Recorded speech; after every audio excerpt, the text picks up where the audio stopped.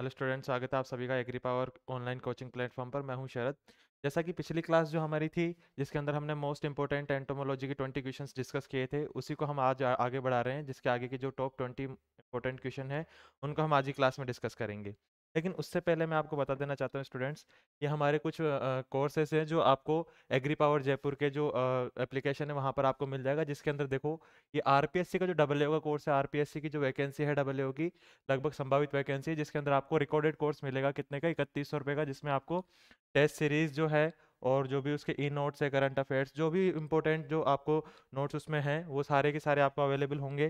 ठीक इसी की तरह जो कृषि पर्यवेक्षक है, कृषि पर्यवेक्षक का देखो यहाँ पर दो तरीके के कोर्स है हमारे पास में। एक तो है लाइव बैच जो इकतीस सौ रुपये का है और जो दूसरा है रिकॉर्डेड कोर्स है, जिसके अंदर आपको जितने भी टेस्ट सीरीज़ है और कोर्स का जो रिकॉर्डेड कंटेंट है वीडियोस है, वो सभी आपको दोनों हिंदी मीडियम और इंग्लिश मीडियम के अंदर अवेलेबल हो जाएँगे।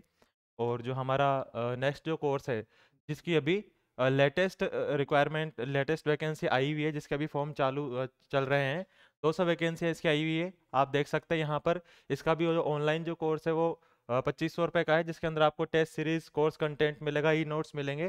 सारे जो रिकॉर्डेड वीडियोज़ है, इसके अंदर आपको दोनों मीडियम के अंदर यहाँ पे अवेलेबल हिंदी मीडियम के अंदर भी अवेलेबल हो जाएँगे।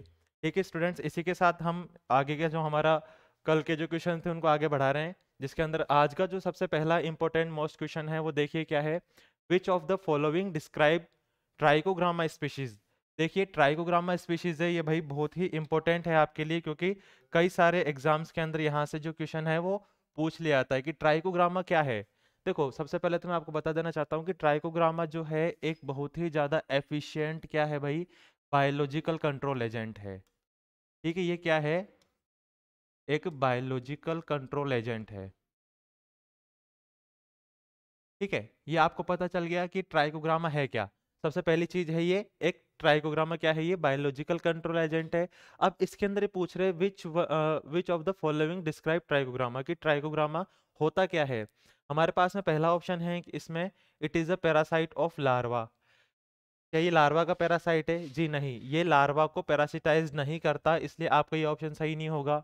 ठीक है, दूसरा ऑप्शन है it is an egg parasitoid देखिए, यही जो क्वेश्चन है, यही आपको इस बार आरपीएससी के जो एग्ज़ाम लगा था, आरपीएससी का, एआरओ का जो एग्ज़ाम लगा था। हाल ही के अंदर 2022 में अभी ये एग्ज़ाम लगा था, उसके अंदर भी क्वेश्चन पूछा गया था निम्नलिखित में से, जो ट्राइकोग्रामा होता है, ट्राइकोग्रामा क्या होता है तो देखिए इसका जो राइट आंसर होगा, वो होगा आपके पास में बी। बी इसका क्या होगा, राइट आंसर होगा, जिसमें क्या लिखा हुआ है, एग पैरासिटोइड। ट्राइकोग्रामा क्या है भाई, एक तरीके का एग पैरासिटोइड है, जिसको किसके लिए सबसे ज़्यादा काम में लिया जाता है, लेपिडोप्टेरियन इंसेक्ट्स जो होते हैं।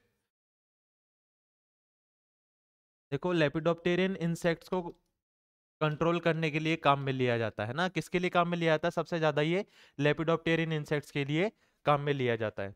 ठीक है स्टूडेंट्स तो आप देखिए ट्राइकोग्रामा का जब भी क्वेश्चन आएगा तो आपके कॉन्सेप्ट क्लियर होने चाहिए। पहली बात तो क्या होता है ये, एक तरीके का एग पैरासिटोइड होता है और दूसरी बात क्या होता है कि ये एक बायोलॉजिकल कंट्रोल एजेंट है जिसका सबसे ज़्यादा यूज़ जो है वो किसको कंट्रोल करने के लिए किया जाता है? लेपिडोप्टेरियन इंसेक्ट पेस्ट को कंट्रोल करने के लिए किया जाता है। ठीक है, अब हम आगे चलते हैं। नेक्स्ट जो हमारा क्वेश्चन है नेक्स्ट क्वेश्चन देखिए। Vector of rice tungro virus देखिए भाई, बहुत ही इंपॉर्टेंट है। ये क्या है? एक तरीके की वायरल डिज़ीज़ है। ठीक है, ये क्या है एक तरीके की? वायरल डिज़ीज़ है। वायरल डिज़ीज़ किसमें है ये भाई? राइस के अंदर है। अब देखो, जहाँ पर भी हम किसकी बात करते हैं? वेक्टर की बात करते हैं ना, वेक्टर क्या होता है? कोई भी ऐसा लिविंग ऑर्गेनिज्म जो क्या करता है? किसी ना किसी पैथोजन को या माइक्रो ऑर्गेनिज्म को क्या करता है? एक हेल्दी प्लांट पर क्या करता है, उसको ला करके ट्रांसमिट कर देता है। यानी किसी इन्फेक्टेड प्लांट से कहाँ लेकर आके आएगा उसको? हेल्दी प्लांट पर लाएगा। तो देखो राइस टुंगरो वायरस जो होता है, वो किसकी वजह से होता है? देखिए स्टूडेंट्स वो होता है जीएलएच की वजह से। यहाँ पे जीएलएच जो है जीएलएच का मतलब क्या है भाई? Green leaf hopper green leaf hopper GLH का मतलब क्या होता है? ग्रीन लीफ होपर होता है भाई, ठीक है? और इसका जो साइंटिफिक नेम होता है, वो होता है नेफोटेटिक्स स्पीशीज ठीक है, ये क्या है? नेफोटैटिक स्पीशीज है, जिसका क्या है भाई? ग्रीन लीफ होपर है। ग्रीन लीफ होपर क्या होता है? राइस टुंगरो वायरस का क्या होता है? वेक्टर होता है। तो ये चीज़ आपको ध्यान में रखनी है। अब देखो, हम बात करते हैं बीपीएच की। बीपीएच भी क्या है? एक तरीके का वेक्टर ही है, लेकिन वो दूसरी डिज़ीज़ ट्रांसमिट करता है। इसी तरीके से हम बात करते हैं W H W L H ठीक है तो इसका आंसर जो होगा राइट आंसर जब भी आपसे राइस टूंगरो वायरस की बात की जाएगी तो जीएलएच क्या होगा उसका? राइट आंसर होगा, जो उसका साइंटिफिक नेम क्या है? नेफोटेटिक्स स्पीशीज है, या नेफोटेटिक्स वेरिसेंस करके इसमें दो स्पीशीज पाई जाती है, ठीक है? इसके बाद में जो हमारा नेक्स्ट क्वेश्चन है, देखिए नेक्स्ट क्वेश्चन जो है, हमारा क्या है? देखो इसमें vector of grassy stunt disease देखो भाई ग्रेसिस स्टंट डिज़ीज़ है, सबसे पहले तो मैं आपको बता देना चाहता हूँ कि ग्रेसिस स्टंट डिज़ीज़ कौन से प्लांट्स में आती है, किस तरीके की फ़सल के अंदर इसका अटैक देखा जाता है तो ग्रेसिस स्टंट डिज़ीज़ जो होती है, वो आती है राइस के अंदर। ठीक है? ग्रेसिस स्टंट डिज़ीज़ कौन सी क्रॉप में आती है भाई? राइस के अंदर आती है। अब देखो ग्रेसिस स्टंट डिज़ीज़ जो है, ये भी कैसी है? ये भी एक तरीके की वायरल डिज़ीज़ है। ठीक है? ये भी क्या है? एक तरीके की वायरल डिज़ीज़ है। अब ये वायरल डिज़ीज़ है और राइस में आती है तो अब ज़ाहिर सी बात है कि इसका वेक्टर कौन होगा? वेक्टर का मतलब क्या होता है कि इस डिज़ीज़ को ट्रांसमिट कौन करता है? ठीक है वायरल डिज़ीज़ है राइस के अंदर आती तो देखो जीएलएच जीएलएच का मतलब क्या होता है? ग्रीन लीफ होपर बीपीएच का मतलब क्या होता है? ब्राउन प्लांट होपर तो देखिए, जो ग्रीन ग्रेसिस स्टंट डिज़ीज़ जो है वायरल डिज़ीज़ है, और इसका जो वेक्टर होता है, वो क्या होता है? बीपीएच का जो मतलब है, यहाँ पर वो है ब्राउन प्लांट होपर ठीक है बीपीएच का क्या मतलब यहाँ पे? ब्राउन प्लांट होपर है। तो इसका राइट आंसर क्या होगा? बीपीएच हो जाएगा, ठीक है। ब्राउन प्लांट होपर क्या हो जाएगा? इस क्वेश्चन का राइट आंसर हो जाएगा। ग्रेसिस्टेंट जो डिज़ीज़ होती है राइस के अंदर होती है, जो एक वायरल डिज़ीज़ है, जिसको ट्रांसमिट कौन करता है? बीपीएच करता है, ठीक है। तो जब भी आपके क्वेश्चन आएगा तो आपको क्या लगाना है? ऑप्शन के अंदर बीपीएच लगाना है। अब देखिए, हो सकता है कि कई बार आपको यहाँ पर बीपीएच ना दे करके या ब्राउन प्लांट होपर ना दे करके इसका आपको डायरेक्ट साइंटिफिक नेम भी दे सकते हैं। ठीक है तो आपको इसका साइंटिफिक नेम भी याद होना चाहिए। साइंटिफिक नेम है इसका नीलो पर्वता ल्यूजेंस ठीक है, ये क्या है? ब्राउन ब्राउन प्लांट हॉपर का साइंटिफिक नेम है, ये आपको अच्छे से याद होना चाहिए। इसका जो डिज़ीज़ कौन सी ट्रांसमिट करता है, कौन सी क्रॉप में ट्रांसमिट करता है और डिज़ीज़ का कॉजल ऑर्गेनिज्म क्या है, ये आपको मालूम होना चाहिए। इसके अंदर यहाँ से क्वेश्चन पूछा जाता है। इसके अलावा जो हमारा नेक्स्ट क्वेश्चन है, देखिए। हार्मफुल स्टेज ऑफ़ सिट्रस सिला। देखिए, सबसे पहले तो मैं आपको ये बता देना चाहता हूँ कि सिट्रस सिला होता क्या है। देखो, सिट्रस सिला जो है, एक तरीके का क्या है, ये सकिंग इंसेक्ट पेस्ट है। ठीक है, आपके दिमाग में कॉन्सेप्ट ये होना चाहिए सिट्रस सिला जब भी आप पढ़ेंगे तो आप देखोगे कि सिट्रस सिला किस तरीके का इंसेक्ट पेस्ट है भाई। सिट्रस सिला जो होता है, ये एक तरीके का सकिंग इंसेक्ट पेस्ट होता है। ठीक है, ये क्या है? सकिंग इंसेक्ट पेस्ट है ये। और मैंने आपको हमेशा से एक ही बात बताई जब भी सकिंग इंसेक्ट पेस्ट आएगा तो उसकी डैमेजिंग स्टेज या हार्मफुल स्टेज कौन सी हो जाएगी? जितने भी सकिंग इंसेक्ट पेस्ट है, इनकी डैमेजिंग स्टेज कौन सी होती है भाई? देखो, इनकी डैमेजिंग स्टेज जो होती है होती है निम फॉर एडल्ट ठीक है निम्स एंड एडल्ट तो इसी के साथ यहाँ पे आपका ये कॉन्सेप्ट क्लियर हो गया कि जितने भी सकिंग इंसेक्ट पेस्ट होते हैं, उनकी डैमेजिंग स्टेज जो होगी, वो कौन सी होगी? निम्फ और एडल्ट होगी। और क्वेश्चन में हमसे क्या पूछा गया है कि हार्मफुल स्टेज ऑफ़ सिट्रस सिला तो सिट्रस सिला की भी कौन सी स्टेज होगी भाई? निम्फ होगा ठीक है तो निम्फ क्या हो जाएगा? और दूसरा ऑप्शन हमारे पास में क्या है? एडल्ट। तो सी जो ऑप्शन है, जिसके अंदर क्या लिखा हुआ है? Both A and B. ठीक है तो ये वाला जो ऑप्शन है हमारा, इसको हम क्या मान लेंगे? टिक कर लेंगे। ये हमारा क्या होगा इसमें? राइट आंसर होगा, क्योंकि इसने यहाँ पे ऑप्शन में दिया हुआ है कि ए जो ऑप्शन है और बी ऑप्शन है। ठीक है, जिसमें पहले ऑप्शन में क्या है? निम्फ, और दूसरे में क्या है? एडल्ट। ठीक है तो ये दोनों ही ऑप्शन का क्या करता है ये? ये दोनों ही ऑप्शंस को यहाँ पर दिया हुआ है तो हमारा जो राइट आंसर होगा वो सी होगा। बोथ ए एंड बी जो है, यानी कि निम्फ और एडल्ट जो स्टेज है, वो क्या होगी इसमें? हार्मफुल स्टेज होगी और सिट्रस सिला जो होता है, ये किसका इंसेक्ट पेस्ट है भाई? सिट्रस सिला जो होता है, ये इंसेक्ट पेस्ट है सिट्रस का। सिट्रस लेमन ठीक है सिट्रस और लेमन में क्या होता है, इसका अटैक देखने के लिए हमको मिलता है। ठीक है तो यहाँ से ही क्वेश्चन आपके क्या हो गया? क्लियर हो गया। इसके अंदर देखो, हमको दो चीज़ पता लगी कि एक तो किस तरीके का पेस्ट है ये सकिंग इंसेक्ट पेस्ट है, और दूसरी चीज़ ये है कि इसकी डैमेजिंग स्टेज कौन सी है? तीसरी चीज़ ये है कि इसमें अटैक कौन कौन से प्लांट्स पर आता है। ठीक है, स्टूडेंट्स? देन इसके बाद में हमारा जो नेक्स्ट क्वेश्चन है, देखिए, नेक्स्ट क्वेश्चन है हमारा family of rice gundhi bug.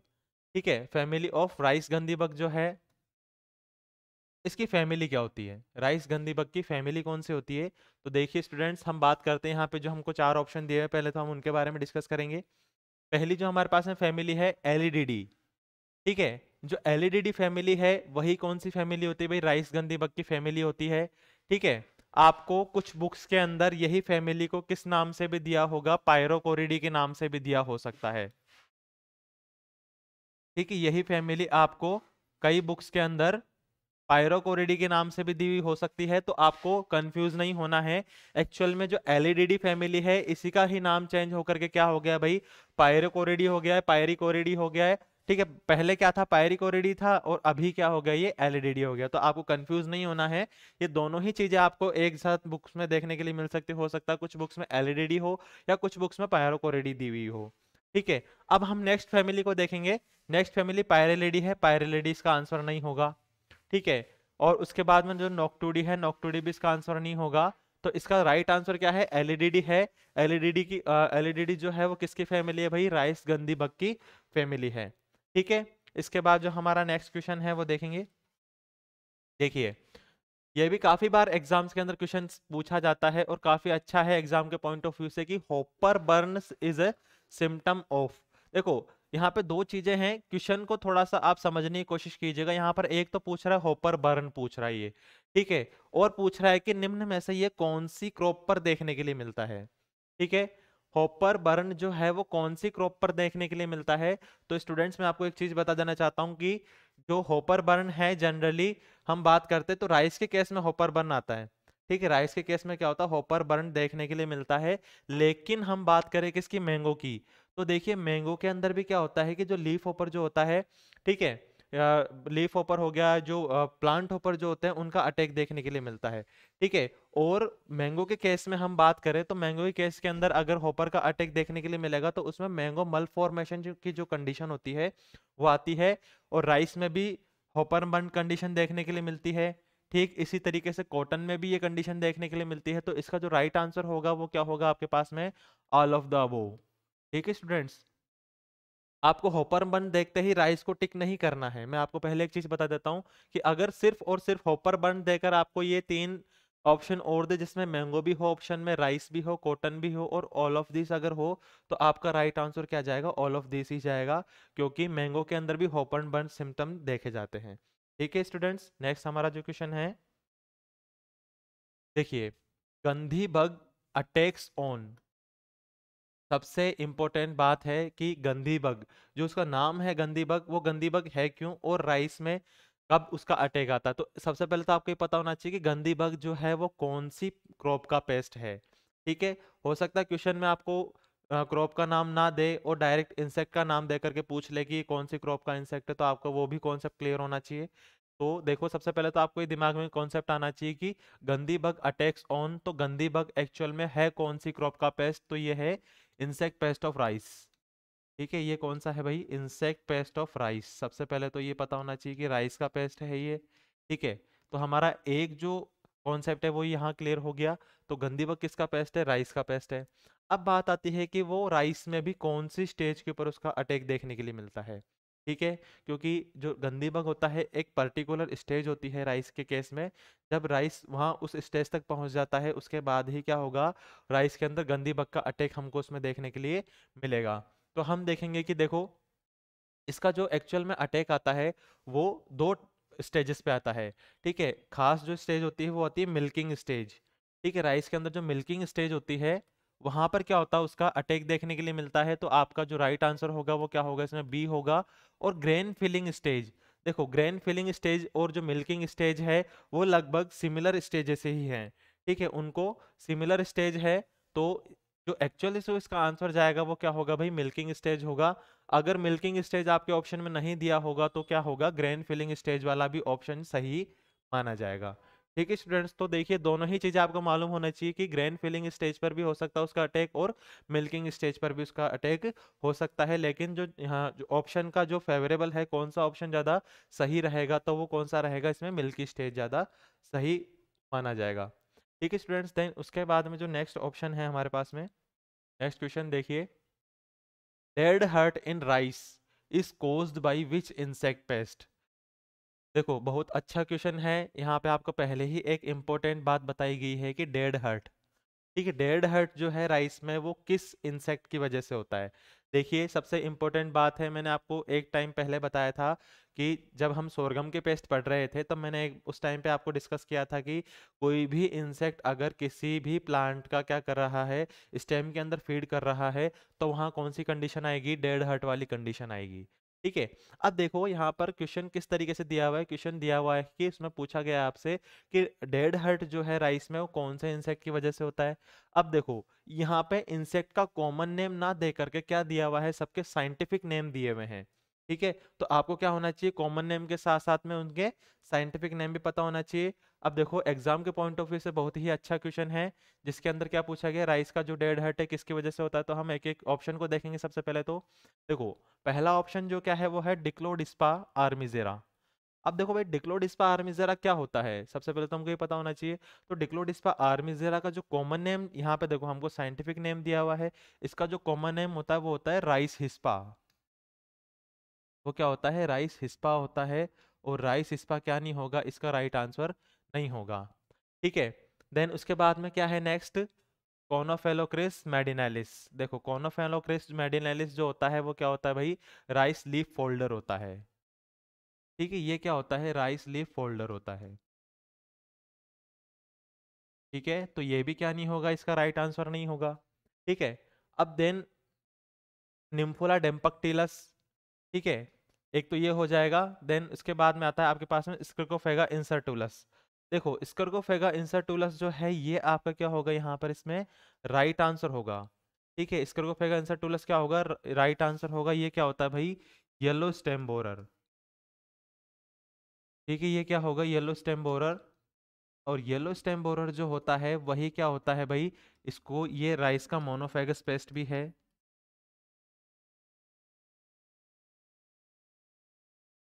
ठीक है, राइस का मोनोफेगस पेस्ट भी है, ये बहुत ही इंपॉर्टेंट आपके पास में एग्ज़ाम्पल है। बहुत बार ये एग्ज़ाम में के अंदर क्वेश्चन पूछा जाता है कि which one is the monophagous pest of rice तो स्क्रिकोफेगा इंसर्टुलस जो है, ये क्या है? येलो स्टेम बोरर जो है राइस का मोनोफेगस पेस्ट है और ये यही क्या करता है? कॉजिंग डेड हर्ट ठीक है कॉजिंग डेड हर्ट तो इस क्वेश्चन का आपके पास में राइट right आंसर जो जाएगा विद एक्सप्लेनेशन हम बात करें तो कौन सा जाएगा भाई? डी जाएगा। ठीक है स्क्रोफेगा इंसर्टुलस जो है वो क्या है राइस का येलो स्टेम बोरर है और इसी की वजह से राइस में कौन सी कंडीशन आती है, डेड हर्ट की कंडीशन आती है। इसके बाद में जो हमारा नेक्स्ट और इम्पोर्टेंट क्वेश्चन है वो देखेंगे, देखो, देखिए, alternate wetting of rice field is done for the management of which insect pest. देखिए, क्वेश्चन क्या कहना चाहता है, क्वेश्चन ये कहना चाहता है कि जो राइस का फ़ील्ड जो होता है, उसको टाइम टू टाइम पानी से भर देने की वजह से या टाइम टू टाइम पानी से अगर हम उसको भर देंगे तो उसकी वजह से हम कौन से इंसेक्ट पेस्ट को कंट्रोल कर सकते हैं?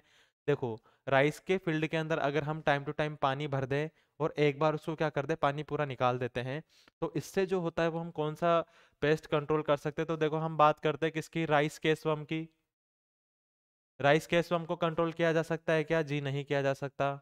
ठीक है तो हमारा ये क्या नहीं होगा? इसके अंदर ऑप्शन राइट नहीं है ये। फिर बात करते हैं हम किसकी? राइस हिस्पा की। देखो राइस हिस्पा को भी इस मेथड से कंट्रोल नहीं किया जा सकता। ठीक है, फिर बात आती है हमारे पास में किसकी? ब्राउन प्लांट होपर की।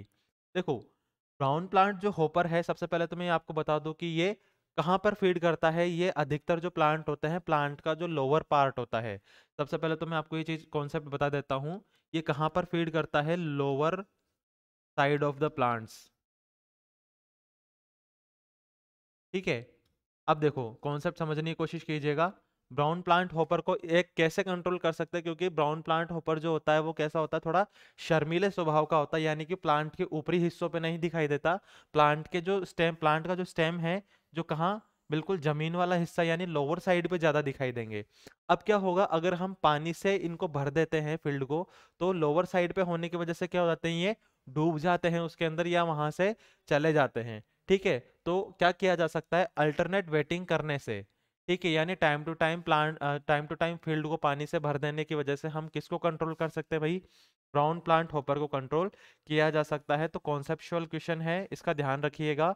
बीपीएच अगर आपको दे दिया जाए, हो सकता है बीपीएच की जगह आपको इसका साइंटिफिक नेम देकर भी पूछ सकता है कि अल्टरनेट ड्राइंग और wetting is the beneficial method of control of which insect pest of rice तो देखो, इसका आंसर जाएगा आपके पास में ब्राउन प्लांट होपर क्योंकि ये ब्राउन प्लांट होपर कहाँ होता है? Generally lower side of the plants पर होता है। ठीक है स्टूडेंट्स देन इसके बाद में जो हमारा नेक्स्ट क्वेश्चन जो है नेक्स्ट देखिए। देखो क्वेश्चन बड़ा अच्छा है, इसके अंदर क्या पूछा गया है आपसे? साइंटिफिक नेम दिया हुआ भाई। देखो, ये सारे के सारे जो हमारे पास में क्वेश्चन है, मैं आपको सिर्फ़ ये बताना चाहता हूँ कि क्वेश्चन आपसे किस किस तरीके से पूछा जा सकता है एग्ज़ाम में? किस लेवल के क्वेश्चन आपको एग्ज़ाम में पूछे जा सकते हैं? और हम बात करें किसकी? आरपीएससी की हम बात करें तो आरपीएससी का जो डबल एओ का है एओ का है या दूसरे जो एग्ज़ाम है, जैसे कि हम बात करें एग्रीकल्चर रिसर्च ऑफिसर का है तो वहाँ पर इसी लेवल के जो क्वेश्चन है आपको ज़रूर देखने के लिए मिलते हैं। तो अगर आपको इस एग्ज़ाम के अंदर क्वेश्चन अटेम्प्ट करने तो इस तरीके की आपको तैयारी करनी पड़ेगी, जिसके अंदर आपको हर एक कॉन्सेप्ट क्या हो, क्लियर हो। ठीक है तो देखो Dicladispa armigera is the scientific name of which insect pest. देखो, डिक्लोडिस्पा आर्मिजेरा है, वो कौन से इंसेक्ट पेस्ट का साइंटिफिक नेम है? तो देखिए, डिक्लोडिस्पा आर्मिजेरा है। अब हम इसको एक एक करके देखेंगे। क्या ये ग्राम पोर्ट बोरर का साइंटिफिक नेम है क्या? देखो, ग्राम पोर्ट बोरर का साइंटिफिक नेम है क्या ये? जी नहीं। ये ग्राम पोर्ट बोरर का साइंटिफिक नेम नहीं है, क्योंकि ग्राम पोर्ट बोरर का साइंटिफिक नेम क्या होता है भाई? हेलिकोवर्पा आर्मिजेरा इसका क्या नाम होता है? हेलिकोवर्पा आर्मिजेरा इसका साइंटिफिक नेम होता है, लेकिन यहाँ पर हमको क्या दिया हुआ है भाई? ग्रामपोर्ट बोरर, ठीक है तो ये क्या नहीं होगा, इसका राइट आंसर नहीं होगा। बट आपको क्या होना चाहिए, इसका कॉमन नेम और साइंटिफिक नेम दोनों पता होना चाहिए। देन हम बात करते हैं राइस हिस्पा की। राइस हिस्पा का साइंटिफिक नेम क्या होता है भाई? इसका साइंटिफिक नेम होता है डिक्लोडिस्पा आर्मिजेरा। इसका साइंटिफिक नेम क्या होता है? Dicladispa armigera.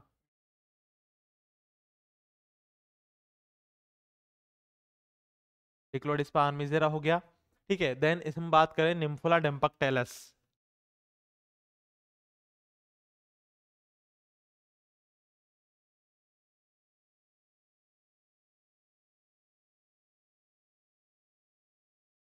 ठीक है Nymphula depunctalis wheat aphid wheat aphid का साइंटिफिक नेम होता है मैक्रोसीफम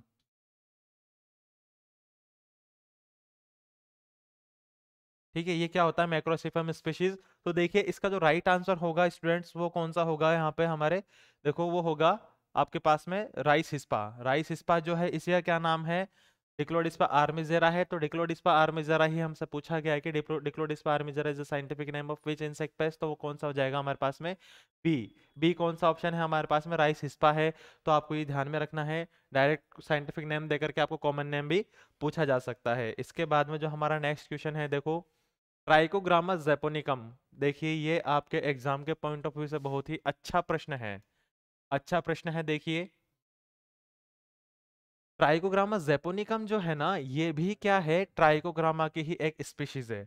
देखिए भाई ट्राइकोग्रामा जेपोनिकम जो होता है ट्राइकोग्रामा की ही एक इंपॉर्टेंट स्पीशीज है, जो कैसा है? होस्ट स्पेसिफिक है। देखो, ये क्या है? होस्ट स्पेसिफिक है। ठीक है होस्ट स्पेसिफिक है। देखो Trichogramma japonicum is released to control of which insect pest of rice कि राइस के अंदर ट्राइकोग्रामा जेपोनिकम को अगर हम यूज़ में लेते हैं तो वो किस तरीके के इंसेक्ट पेस्ट को कंट्रोल करने काम में आता है? तो देखिए भाई, वो इसका राइट आंसर जाएगा आपके पास में क्या?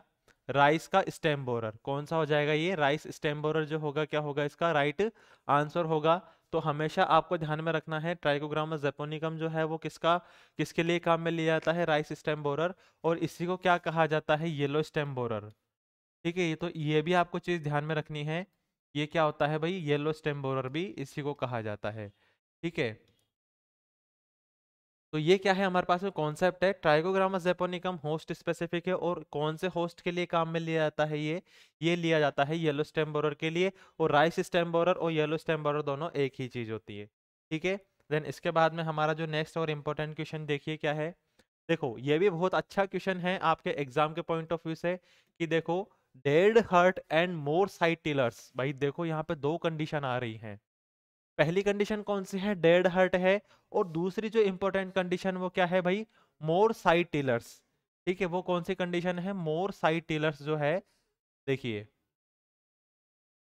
Dead heart and more side tillers in sorghum कौन सी क्रॉप में? In sorghum is the damaging symptom of damaging symptoms caused by देखिए, ये आपको देखना होगा कि डेड हर्ट भी हो रहा है और मोर साइड टेलर्स भी निकल रहे हैं।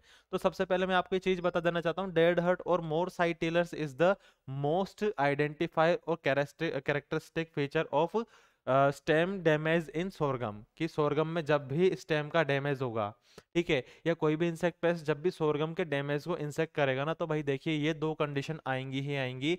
मोस्ट इंपॉर्टेंट फेवरेबल क्वेश्चन जो है वो, ये यहाँ पे आपको एग्जामिनर पूछता है दोनों कंडीशन दे करके कि डेड हर्ट भी हो रहा है और साइड टिलर्स भी हो रहा है, किसमें? सोरगम में। तो ये कौन से इंसेक्ट की वजह से होगा?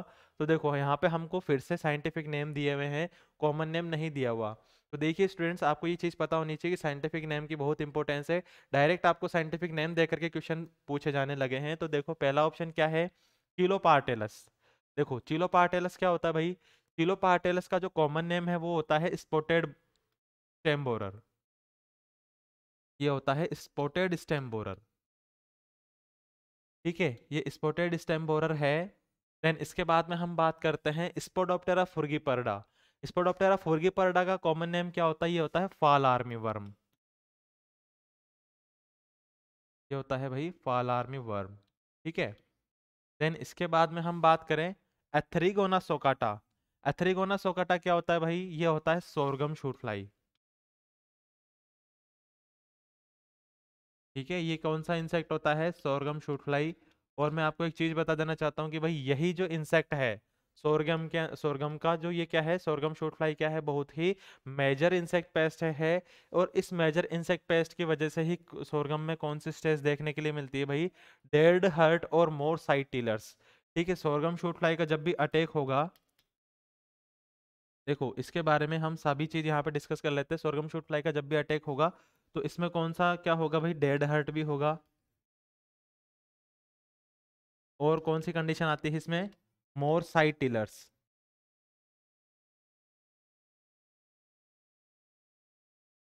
ठीक है मोर साइड टिलर्स जो है ये दोनों ही कंडीशन किसके अटैक में देखने के लिए मिलती है भाई? एथरीगोना सोकाटा के केस में देखने के लिए मिलती है। और इसका अटैक आता कब है? आ, इसका अटैक जो होता है वो आ, चार वीक की जब क्रॉप हो जाती है। ठीक है?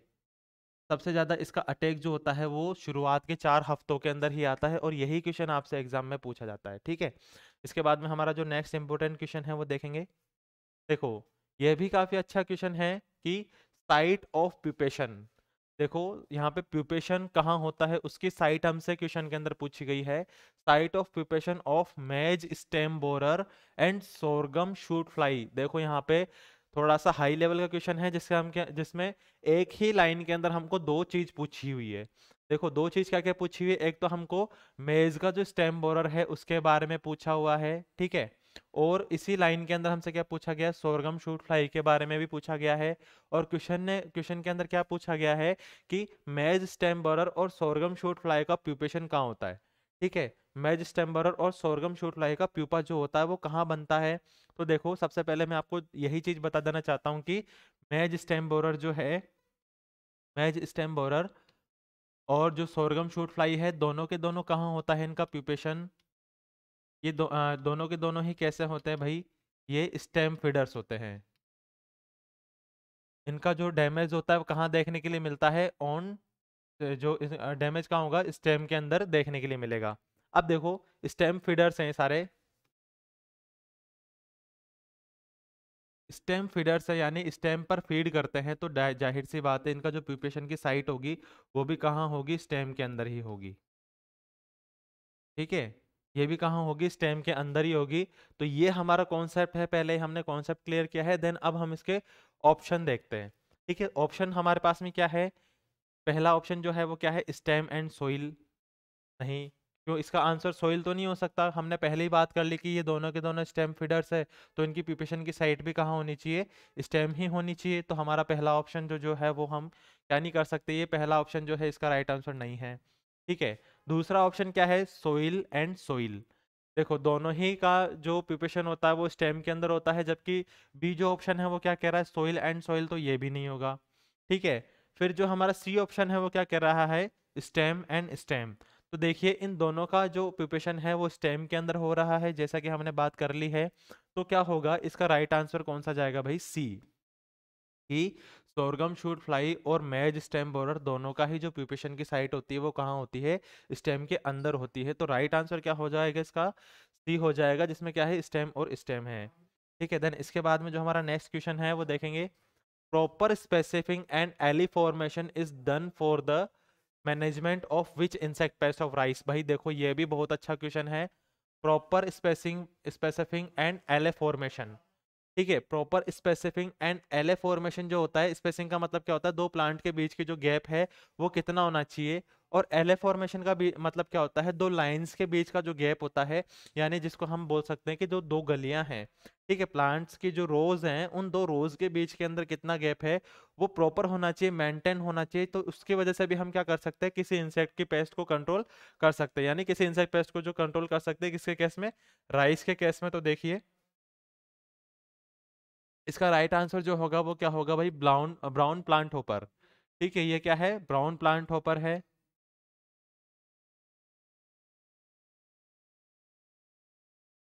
ठीक है, ये क्या है भाई? ब्राउन प्लांट होपर है। ठीक है देन राइस गाल मिस होगा क्या इसका आंसर जी नहीं। राइस ग्रीन होपर होगा? जी नहीं। ऑल ऑफ़ दिस होगा? जी नहीं। तो देखिए स्टूडेंट्स एक ये भी बात है कि कभी भी आप क्या नहीं कीजिए ऑप्शन के अंदर ऑल ऑफ़ दिस देखते ही ऑल ऑफ़ दिस को कभी टिक नहीं करना है, वो टिक इसलिए नहीं करना है, पहले आप क्वेश्चन अच्छे से पढ़िए ऑप्शंस को अच्छे से देखिए। ठीक है देन उसके बाद में ही आप आगे का जो डिसीज़न है वो लीजिए। कुछ स्टूडेंट ऐसे होते हैं कि क्वेश्चन पढ़ा नहीं तो आधा क्वेश्चन पढ़ते हैं लास्ट में ऑल ऑफ़ दिस देखते हैं और उस ऑल ऑफ़ दिस को टिक कर देता। है तो ये सबसे गंदी आदत है, कभी भी ऑल ऑफ़ दिस को डायरेक्ट टिक नहीं करना है, बिना क्वेश्चन को ध्यान से पढ़े। तो इसमें क्या होगा प्रॉपर स्पेसिफिंग और एल फॉर्मेशन जो होता है, वो किसके लिए किया जाता है भाई? ब्राउन प्लांट हॉपर के कंट्रोल के लिए किया जाता है। देन इसके बाद में जो नेक्स्ट इंपॉर्टेंट प्रश्न है, वो देखो रोफिडोसिफम मेडिस देखिए भाई रोफिडोसिफम मेडिस जो होता है, वो क्या होता है? Is known as a and pest of which crop भाई देखो, बहुत ही अच्छा शानदार प्रश्न है। हम आपके सामने एक से बढ़कर एक प्रश्न लेकर के आ रहे हैं, ताकि आपके जितने भी कॉन्सेप्ट हैं एंटो के, कि वहाँ से किस तरीके का प्रश्न आपसे पूछा जा सकता है, वो सबके सब क्लियर हो सके। इसलिए देखो रोफिडोसिफम मेडिस जो है, वो क्या होता है और कौन सी क्रॉप का ये पेस्ट है? तो आपको ये भी पता होना चाहिए कि रोफिडोसिफम मेडिस क्या है और कौन सी क्रॉप का पेस्ट है। तो देखो, पहला ऑप्शन हमारे पास में क्या है? ये एक लीफ ऑपर है मेज और सोरगम तो भाई देखो रोफिडोसिफम मेडिस जो होता है, वो क्या नहीं होता? लीफ ओपर नहीं होता। तो इसका आंसर ए नहीं होगा। ठीक है? देन हम बात करें एफिड ग्राउंडनट और मेज ये एफिड तो होता है, लेकिन ग्राउंडनट और मेज में नहीं होता। ठीक है? तो ये भी इसका राइट आंसर नहीं होगा। देन इसके बाद में नेक्स्ट ऑप्शन क्या है हमारे पास में? एफिड मेज एंड सोरगम हाँ बिल्कुल। देखो, ये क्या होता है? एफिड भी है ठीक है और कौन सी क्रॉप पे इसका अटैक देखने के लिए मिलता है भाई? मेज और सोरगम पे क्या होता है? इसका अटैक देखने के लिए मिलता है। तो ये क्या हो जाएगा? इसका राइट आंसर क्या हो जाएगा? एफिड मेज और सोरगम हो जाएगा। तो देखो हर तरीके का जो आ, मतलब क्वेश्चन एग्जामिनर आपसे पूछ सकता है वो सारे की सारी हम यहाँ पर डिस्कस कर रहे हैं। देन उसके बाद में pupation site of sorghum gall midge देखो प्यूपेशन साइट से भी आजकल क्वेश्चन जो है पूछे जाने लगे हैं। तो आपको ये भी पता होना चाहिए कि जो सोरगम गाल मिस जो होता है, उसका प्रिपरेशन कहाँ होता है? तो वो होगा आपके पास में कहाँ भाई? इन ओवेरीज क्योंकि जो उसका लार्वा जो होता है, वो कहाँ पर फीडिंग करता है? वो ओवेरीज में ही फीडिंग करता है। ठीक है देन इसके बाद में जो नेक्स्ट क्वेश्चन है, देखो डेल्फा सीडी जो होता है डेल्फासिडी यहाँ पे आपको फैमिली पूछी गई है।